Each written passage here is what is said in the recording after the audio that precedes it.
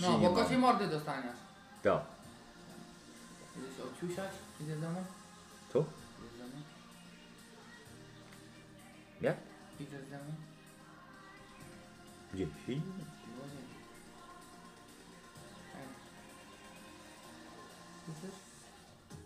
Ej. Mm, mm.